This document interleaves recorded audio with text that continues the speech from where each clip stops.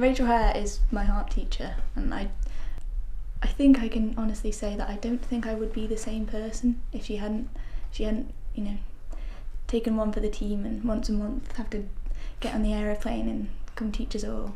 She's you know, really influential in the best way possible. I, I love her to pieces. I think she's really great. I think she's been really, really good.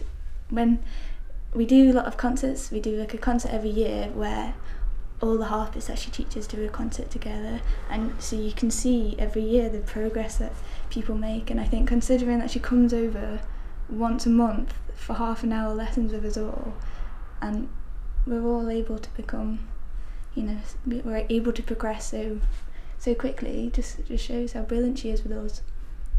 I really appreciate it